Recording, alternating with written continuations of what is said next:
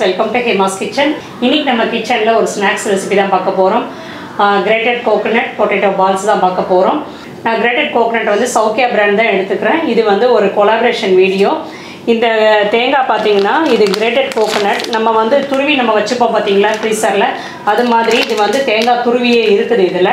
இது பார்த்தீங்கன்னா hundred percent pure நல்லா ஃப்ரெஷ்ஷாக இருக்குது கோகோனட் பார்த்தீங்கன்னா. இது நீங்கள் வந்து கட் பண்ணிவிட்டு ஓப்பன் பண்ணி ஒரு ஏர்டைட் பாக்ஸில் போட்டு ஃப்ரீசரில் வச்சுக்கணும். அப்போ தான் வந்து தேர்ட்டி டேஸ் வரைக்கும் அது நல்லா இருக்கும் அது. நம்ம யூஸ் பண்ணுறதுக்கு முன்னாடி அரை மணி நேரத்துக்கு முன்னாடி நீங்கள் வெளியே எடுத்து வச்சு ரூம் டெம்பரேச்சருக்கு வந்ததுக்கப்புறம் யூஸ் பண்ணிவிட்டு அதுவும் கைப்படாமல் ஒரு கரண்டி வச்சு எடுத்து யூஸ் பண்ணிவிட்டு அது திருப்பி அதே மாதிரி எடுத்து க்ளோஸ் பண்ணி ஃப்ரீசரில் வச்சுக்கோங்க. முப்பது நாள் வரைக்கும் கெட்டு போகாது நல்லா இருக்குது. இதுலேயே பார்த்தீங்கன்னா கடலெண்ணெய் இருக்குது. இது வந்து கோல்டு ப்ரெஸ்டு கடலெண்ணெய். இது வந்து ஹண்ட்ரட் பர்சன்ட் பியூர் நல்ல வாசமாக இருக்குது. கடலெண்ணெய் வந்து மரச்செக்கு கடலெண்ணெய் எப்படி இருக்கும். அதே மாதிரி நல்லா இருக்குது. இது வந்து மரச்செக்கு கடலெண்ணெய் நல்லா இருக்குது. இதிலே பார்த்தீங்கன்னா கடலெண்ணெய் நல்லெண்ணெய் தேங்காய் எண்ணெய் மூணுமே இருக்குது இதில். இதிலே பார்த்தீங்கன்னா இளநீ இருக்குது. இது வந்து பொள்ளாச்சிலேருந்து வரக்கூடிய இளநீ இது. நீங்கள் ஆர்டர் பண்ணிங்கன்னா நம்ம நீங்கள் வெப்சைட்டில் ஆர்டர் பண்ணிங்கன்னா மறுநாளே வந்துடும். இது வந்து ஒன்றும் இல்லை அப்படியே இது மேலே இது ஓப்பன் பண்ணி நம்ம எடுத்து யூஸ் பண்ண வேண்டியதான் யூஸ் இது இப்படி எடுத்துகிட்டு இந்த ஸ்ட்ரா அப்படியே வச்சு நம்ம வந்து இதை யூஸ் பண்ணிக்கலாம். இதை நீங்கள் வெப்சைட்டில் ஒன்ஸ் நீங்கள் ஆர்டர் பண்ணிட்டீங்கன்னா நெக்ஸ்ட் டேயே வந்துடும் உங்களுக்கு. நீங்கள் அதை எடுத்து ஃப்ரிட்ஜில் வச்சுக்கிட்டிங்கன்னா டுவெண்ட்டி டேஸ் வரைக்கும் நீங்கள் வச்சு யூஸ் பண்ணிக்கலாம். இந்த சம்மர் டைமில் உங்களுக்கு ரொம்ப யூஸ்ஃபுல்லாக இருக்கும். வெப்சைட் லிங்க் வந்து உங்களுக்கு கீழே டிஸ்கிரிப்ஷன் பாக்ஸில் கொடுக்குறேன். பார்த்துக்கோங்க. இப்போ நம்ம ஓப்பன் பண்ணி பார்க்கலாம்.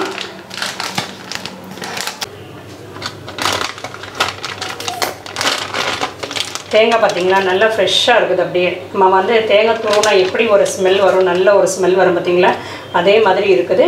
இதை நீங்கள் ஒரு ஏர்டைட் பாக்ஸில் போட்டு வச்சுட்டிங்கன்னா தேர்ட்டி டேஸ் வரைக்கும் அது பாட்டுக்கு இருக்கும். வாங்க இப்போ நம்ம சமைக்கலாம். இன்றைக்கி நம்ம ஒரு ஸ்நாக்ஸ் ரெசிபி செய்ய போகிறோம் ஃபராலின்னு ஒரு குஜராத்தி ஸ்நாக்ஸ் இது வந்து நம்ம சிம்பிளாக வந்து கிரேட்டட் கோக்னட் பால்ஸ்னு சொல்லி வச்சுக்கலாம் பேர். இது வந்து ஒரு கப் எடுத்துக்கிறேன். நல்லா பாருங்கள் நான் ஃப்ரீசரில் தான் எடுத்தேன். அரை மணி நேரம் ஆச்சு எடுத்து வச்சு.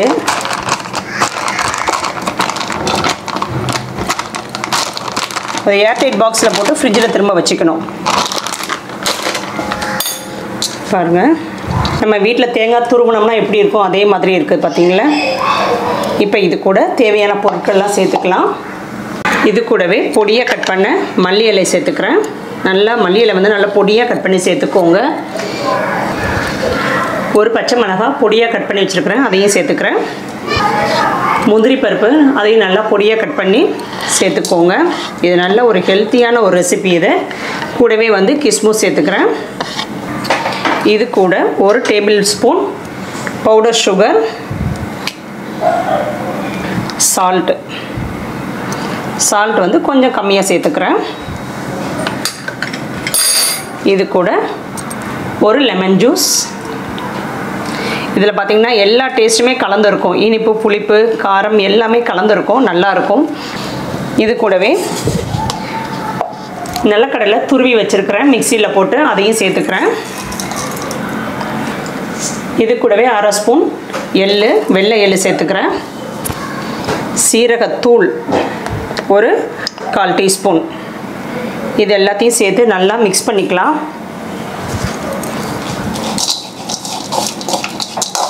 இதை பார்த்திங்கன்னா குஜராத்தில் வந்து விரதம் இருக்கிற போது இந்த மாதிரி செஞ்சு சாப்பிடுவாங்க. நான் ட்ரை பண்ணி பார்த்தேன் நல்லா இருந்துச்சு. நீங்களும் செஞ்சு பாருங்கள்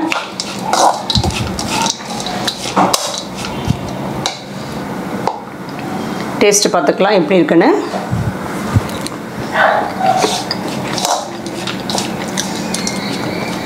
இங்கே கொஞ்சம் சுகர் சேர்த்துக்கிறேன்.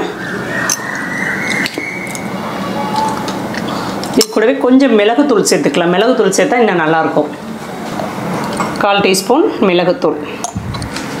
அவ்வளோதான் எல்லாமே கலந்தாச்சு. இப்போ நம்ம அடுத்தது என்னென்னு பார்க்கலாம். இது ஒரு உரமாக வச்சிடலாம் இப்போ மூணு உருளைக்கிழங்கு நல்லா குக்கரில் வச்சு வேக வச்சு எடுத்துக்கோங்க. தோல் எடுத்துட்டு நல்லா மசிச்சு வச்சுருக்கிறேன். லம்ஸ்லாம் இல்லாமல் நல்லா வந்து மசிச்சு எடுத்துக்கோங்க மையா. இப்போ இது கூட மூணு ஸ்பூன் கார்ன்ஃப்ளவர் சேர்த்துக்கிறேன். நான் வந்து கார்ன்ஃப்ளவர் சேர்த்துக்கிறேன். ஆனால் ஆக்சுவலாக அவங்க வந்து அரரோட் பவு பவுடர் சேர்த்துப்பாங்க. இப்போ நான் இதில் வந்து கார்ன்ஃப்ளவர் சேர்த்துருக்குறேன். இது கூட கால் டீஸ்பூன் உப்பு. இப்போ இதை நல்லா மிக்ஸ் பண்ணிக்கோங்க. இது பால் பண்ணுறதுக்கு நல்லா திக்காக இருக்கணும் மாவு. அந்த அளவுக்கு மாவு போட்டு பிசைஞ்சிக்கோங்க. இது கூடவே ரெண்டு ஸ்பூன் அரிசி மாவு சேர்த்துக்கிறேன்.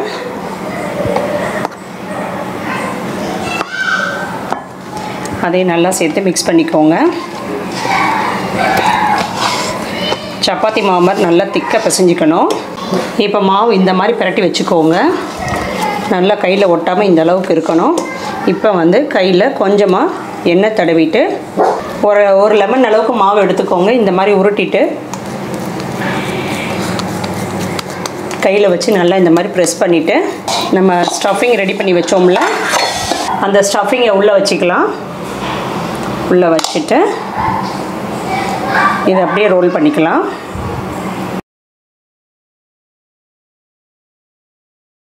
இது நல்லா இப்படி ரோல் பண்ணிக்கோங்க. இப்படி பாலாக உருட்டிட்டு.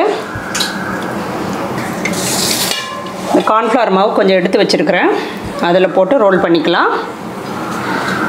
இப்போ இதே மாதிரி எல்லாத்தையுமே நான் உங்களுக்கு செஞ்சுட்டு காட்டுறேன். இப்போ நம்ம சௌக்கிய பிராண்ட் கிரவுண்ட்நட் ஆயில் வந்து எடுத்துக்கலாம் ஃப்ரை பண்ணுறதுக்கு கடலை நெல்லை ஃப்ரை பண்ணி பாருங்கள் நல்லாயிருக்கும் நல்லா ஃப்ரெஷ்ஷாக இருக்குது பார்த்திங்களா எண்ணெய் பாருங்கள் நல்லா பியூராக இருக்குதுல்ல. நான் இதோட வெப்சைட் லிங்க் வந்து உங்களுக்கு டிஸ்கிரிப்ஷன் பாக்ஸில் கொடுக்குறேன். பார்த்துக்கோங்க. ஒவ்வொரு உருண்டையாக போட்டுக்கலாம். மினிமம்லேயே வச்சுக்கோங்க. வேகணும் உள்ளார. போட்டோன்னே திருப்பி போட வேண்டாம். ஒரு பத்து பதினஞ்சு செகண்ட் கழித்து அப்புறம் திரும்பி போட்டுக்கலாம். நம்ம வந்து கார்ன்ஃப்ளவர் போட்டிருக்கோம் பார்த்தீங்களா அதனால் வந்து உடையாது. நல்லா வரும். நல்லா மொறு மொறுன்னு சூப்பராக வரும்.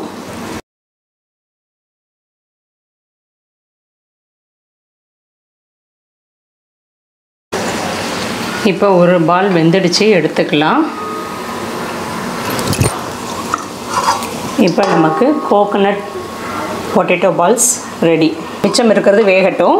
வெந்ததுக்கப்புறம் நம்ம வந்து பிச்சு பார்க்கலாம். இப்போ நமக்கு கோகனட் பொட்டேட்டோ பால்ஸ் ரெடி இது கூட வச்சு சாப்பிட்றதுக்கு தயிர் தயிர் வச்சுட்டு இதில் பார்த்திங்கன்னா நான் வந்து சுகர் சேர்த்துக்கிறேன். பவுடர் சுகர் நல்லாயிருக்கும் இப்படி வச்சு சாப்பிட்றதுக்கு. இதை மிக்ஸ் பண்ணிக்கலாம். இதுக்கு மேலே நம்ம சில்லி பவுடர் தூவிக்கலாம். இதில் சீரகத்தூள் சேர்த்துக்கிறேன். இப்போ நமக்கு கோகனட் பொட்டேட்டோ பால்ஸ் ரெடி ஒன்று பிச்சு பார்க்கலாம் எப்படி இருக்குதுன்னு பார்க்கலாம். உள்ளே பார்த்தீங்களா ஸ்டஃபிங் பாருங்கள் பார்க்குறதுக்கே சூப்பராக இருக்குது. கண்டிப்பாக நீங்களும் செஞ்சு பாருங்கள் இதை வந்து இதில் அப்படியே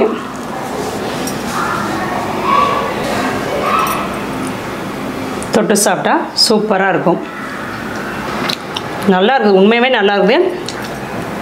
கண்டிப்பாக ட்ரை பண்ணி பாருங்கள் செஞ்சு பார்த்துட்டு கமெண்ட்ஸை சொல்லுங்கள் எப்படி இருந்துச்சுன்னு.